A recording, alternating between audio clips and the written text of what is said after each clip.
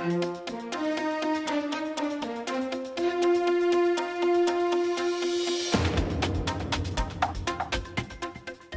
The author of The Cross in the Shadow of the Crescent is urging believers in the United States to be in prayer for their fellow Christians in the Middle East who face death and persecution at the hands of ISIS and other Islamic extremists. The Reverend Dr. Erwin Lutzer, the senior pastor of Moody Church, spoke with IllinoisFamily.org News. Well, I think, first of all, of course, we have to try to enter into their pain. It says in the book of Hebrews, we should uh, connect with those who are in prison as if we are in prison with them. Now, we can't do that directly, but we can carry these believers in our hearts and we can pray for them.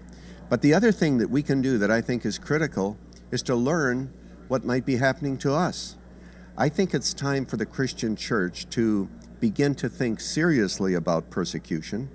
The fact that throughout history Christians often have been killed for their faith and to ask ourselves some hard questions as to whether or not we'd be willing to be killed for our faith. And there are many Christians today who won't even pray in a restaurant because they think that, you know, they don't want to be seen as identified with Jesus.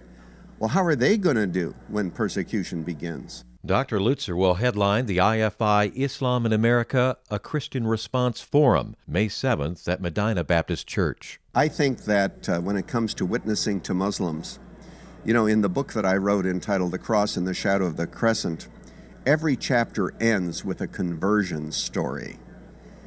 And every chapter in these stories has a common element. And the common element is love and compassion. And when we are able to see them not as our enemies, but to recognize that many of them would like to be able to interact with us. Uh, they are uh, people who want to question our faith and to help us understand theirs. I think those kinds of bridges can be built. It cannot be built simply with one group standing over here and the other standing over there without someone saying, it's time we built some bridges. And the thing that we need to communicate is simply this that we love you even if we don't love your religion and your ideology, and to be able to make that separation because truth and love are not in conflict, and we as a church have to be able to balance those two. But that's the way Muslims come to Christ, is through the witness of believers. How should Christians respond to the growing influence of Islam in our culture, in our government, and in our politics? First of all, what we need to do is to realize what is happening. It's happening before our eyes, and most Christians don't know it. Here's the big deception among Christians and others in America. The idea is that if we're not having terrorist attacks, everything is okay. So, you know, we've had the Boston bombing and we've had some other experiences, and we think to ourselves, well, as long as we aren't being attacked, all is well. That is just dead wrong.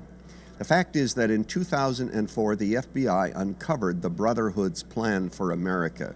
It did not include terrorism because terrorism often has a backlash.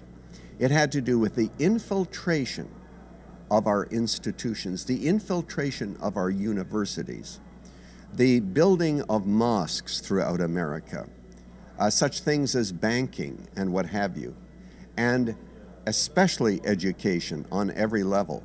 So in these ways, what we're finding is is the intrusion of Islam and then insisting on their rights. Should Christians find out where their candidates for elected office stand on Islam before they vote?